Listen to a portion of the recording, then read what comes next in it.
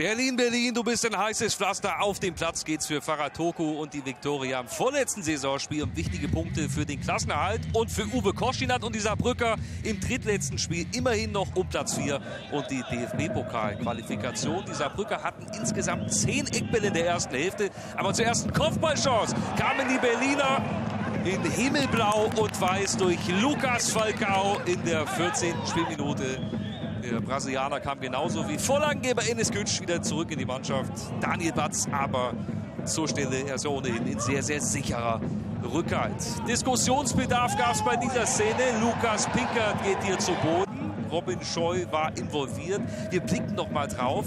Der zieht und zehrt an Pinkert. Es hätte einen Elfmeter geben können, vielleicht sogar müssen. Es gab ihn aber nicht. Stattdessen diese Szenen Faratoko mit Hilfsbereitschaft. Ja, ja, das Handwerk ist extrem wichtig. 24. Minute. Dieser Brücker wieder mal mit so einer Ecke. Und haben sie diesmal die Idee. Luca Gerber, naja, so eine halbe Idee. Aber Tobias Jennecke erzielt das 1 zu 0 für den FCS. Fünf Pflichtspiele in Folge haben sie nicht gewonnen. Im Saarland-Pokal sind sie ausgeschieden gegen den Regionalligisten aus Homburg. Im Derby gegen Kaiserslautern haben sie in Überzahl nicht gewinnen können. Jennecke also nochmal mit einem Treffer, der balsam für die Seele sein müsste. Steht auch hier nicht im Abseits und ist extrem kühl im Abschluss.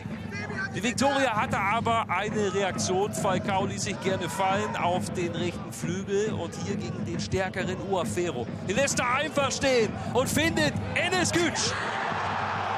1 zu 1 in der 34. Minute. Und er rennt zu seinem Coach, muss durch die Jubeltraube hindurch und dann findet er ihn. Das ist ein ganz entscheidender Moment, wie Falcao sich hier durchsetzt gegen Uafero. Eigentlich ein ungleiches Duell und Kütsch macht es dann ziemlich elegant, ziemlich entspannt zum 1 zu 1. In der Halbzeitpause musste dann gewechselt werden. Tölke kam hinein, Zellner schon zuvor, denn es gab einen Zusammenprall kurz vor der Halbzeitpause. Daniel Batz immer hier schwer gezeichnet. Boni Oafero musste zuvor noch ausgewechselt werden. Also es rumste gewaltig. Wir gehen in die zweite Hälfte, 55. Minute. Was für eine Riesenmöglichkeit für Tobias Jennecke, der da frei zum Abschluss kommt. Der Ball natürlich auch sehr, sehr schwer zu nehmen. Am Ende trifft er ihn nicht richtig. Und dadurch wird er erst so richtig gefährlich. Dominik Ernst kam ständig hinter die Kette. Da waren viele Möglichkeiten da. Sprint war schon eine andere Seite unterwegs, der Keeper.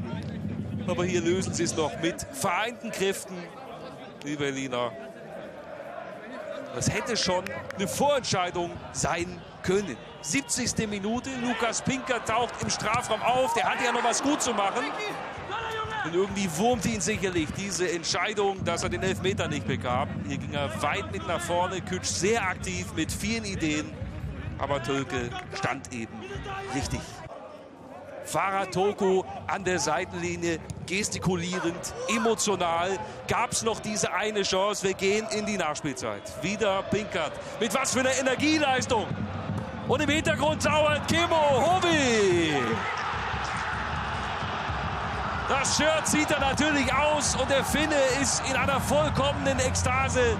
Er sorgt für eine Eruption des Glücks im Jahn-Sportpark. Das hat man so in dieser Form nicht allzu häufig gesehen. Pinkert läuft und läuft und der Finne mit dem Treffer. Es war ein sehr, sehr wichtiger Sieg heute und äh, am Ende haben wir das verdient. Und, äh, aber wir haben 90 Minuten richtig hart gekämpft, alles, alles, alles gegeben. Wir haben, die ganze Mannschaft hat alles gegeben.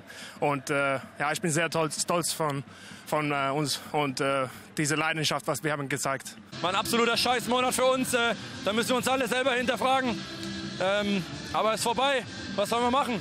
Wir haben Scheiße gespielt ähm, in diesem Monat, über die, über den ganzen Monat gesehen. Und ja, jetzt, ähm, wir sind Profis. Wir haben noch zwei Spiele und da geht es jetzt nochmal den Arsch hochzumachen, aber na, im Moment wiegt natürlich die Enttäuschung.